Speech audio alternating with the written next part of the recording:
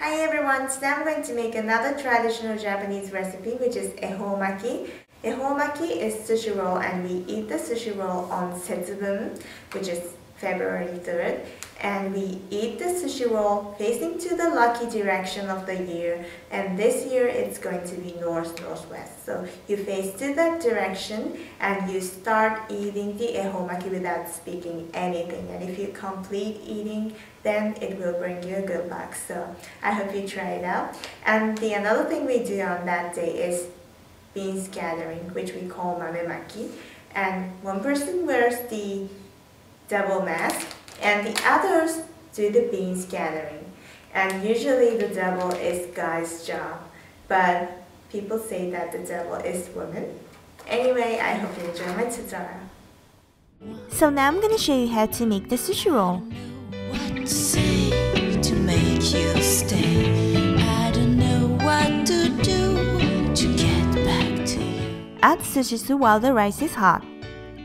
Then slice through the rice using rice paddle to separate the grains.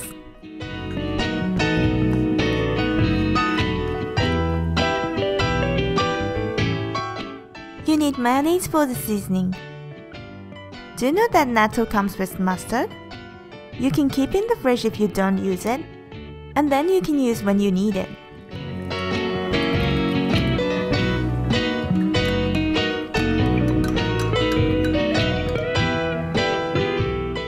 Cover the bamboo sushi roll mat with a plastic wrap.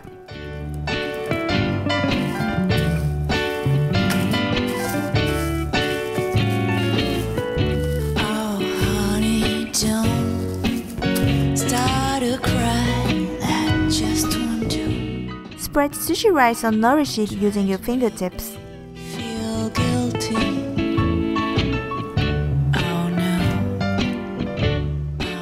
And then place the lucky 7 ingredients of your choice. It's a load one mistake. Well, I've only been cheating once. Know what to say to make you stay. I don't know what to do to get back to you. Red and yellow are the lucky colors, so it's better to add those colors in your sushi. I won't give you no reason.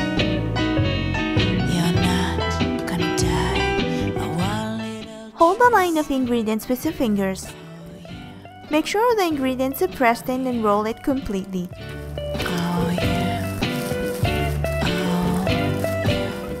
And now it's done!